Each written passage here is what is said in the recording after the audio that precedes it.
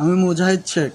আমাদের পৈতৃক সম্পত্তি যে, যেটা আমরা বালু ভরাট করে বলে ভোগ দখল করতেছিলাম এতদিন ধরে।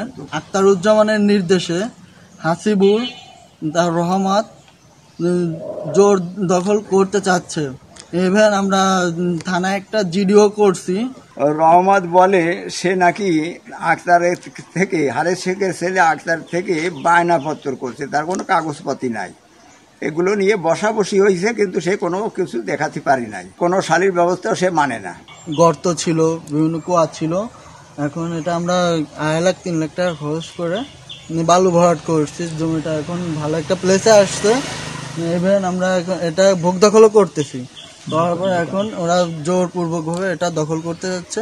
অন- অন্য গ্রাম দিয়ে ডেকে এনে অন্য গ্রামের মাধ্যমে আমাদের সারাস্তা এবং ভোগ দখল করাতে চাচ্ছে। কোনো দোকানদার যদি ক্ষতি তো হুমকি দিছি, তাহলে আমি আর ই করব না। দোকানদারকে বলা হয়েছে চেয়ারম্যান থেকে মাইফে দিছে। আপনি তো রেকর্ড করতেছেন। চেয়ারম্যান গণ্যমান্য ব্যক্তিরা থেকে মাইফে দিছে। যে আমার নিজস্ব দলিলি সম্পত্তি, সেদিনকে সালিশিও তাই হয়েছিল। সেটা আমার মাইফে দিয়ে গেছে।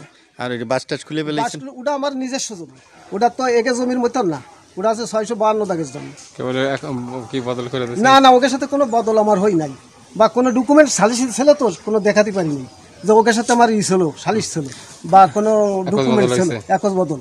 ওকে সাথে আমার কিচ্ছু হয়নি। এই যে চাষা রয়েছে তাহলে হুমকি দেওয়াটা ঠিক- সঠিক না? কোনো হুমকি টুমকি হয়েছে দোকানদার রয়েছে পারতাম না। মানে আপনি বলেন না হুমকি দেননি। কোনো হুমকি না। দোকানদারকে এমনি কয়েছিল কি যে যদি মাইফে আমার জায়গা বাদে, উনি কইসবে বাড়ি তোমার জায়গা বাদে, তোমার জায়গা আমারটা ঘর করে দিবা।